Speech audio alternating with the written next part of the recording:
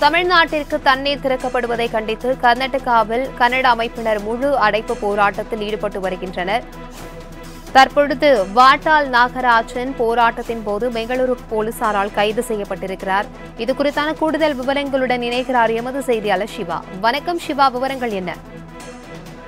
கர்நாடகாவின் காவிரியிலிருந்து தமிழ்நாட்டிற்கு தண்ணீர் திறந்து விடப்படுவதற்கு எதிர்ப்பு தெரிவித்து கர்நாடகாவில் இருக்கக்கூடிய கன்னட அமைப்புகள் விவசாயிகள் தொடர்ந்து में याद है हमको बस बड़ा डे बट हो सकता है ஈடுபட்டு ஒருங்கிணைத்த இந்த முழு அழைப்பு போராட்டத்திற்கு முக்கிய பங்காற்றியவர் கன்னட சதுவாலி பாட்டாள் கட்சியினுடைய பாட்டாள் இவர் தமிழகம் கர்நாடகம் இருக்கக்கூடிய பல்வேறு பிரச்சனைகளுக்கு போராட்டத்தை முன்னெடுக்கக்கூடிய பணிகளில் ஈடுபட்டிருக்கக்கூடிய நிலையில இந்த காவிரி விவகாரத்திலும் தமிழ்நாட்டிற்கு தண்ணீர் திறந்துவிடப்படுவதற்கு எதிர்ப்பு தெரிவித்து இந்த போராட்டத்திற்கு அவர் தலைமை தாங்கி போராட்டத்தை நடத்தி வருகிறார். குறிப்பாக இந்த போராட்டத்தில் ஈடுபட்டிருந்த வாட்டாள் நாகராஜுக்கு பெங்களூர் மாவட்டத்தில் உள்ள சுதந்திர பூங்கா தவிர மற்ற பகுதிகளில் போராட்டம் நடத்துவதற்கு பெங்களூர் காவல்துறை தடை விதித்திருந்தது. அது மட்டுமல்லாமல் பெங்களூர் முழுமையாக நூற்று நாற்பத்தி நான்கு தடை உத்தரவு பிறப்பிக்கப்பட்டிருந்த நிலையில பாட்டாள் நாகராஜ் அனுமதிக்கப்பட்ட இடத்தை தவிர பல்வேறு இடங்களில் குறிப்பாக பெங்களூரில் இருக்கக்கூடிய டவுன் ஹால் பகுதியில போராட்டம் நடத்தியதை அடுத்து போலீசாரால் தற்போது கைது செய்யப்பட்டிருக்கிறார்.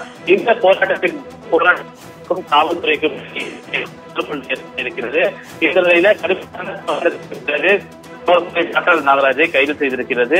சுமூகமான முறையில் போராட்டத்தை நடத்த கர்நாடக அரசு அனுமதி வழங்கிய போதிலும் தொடர்ந்து கர்நாடக அரசினுடைய உத்தரவை மீறி நூற்று நாற்பத்தி நான்கு தடையை மீறி இந்த போராட்டம் நடைபெற்று வந்ததை தொடர்ந்து நாகராஜ் மற்றும் கன்னட அமைப்பினர் பலரும் தற்போது கைது செய்யப்பட்டிருக்கின்றனர்.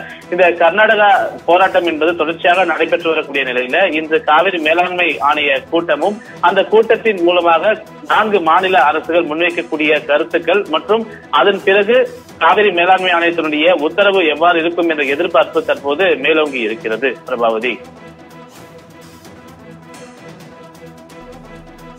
தகவல்களுக்கு நன்றி சிவா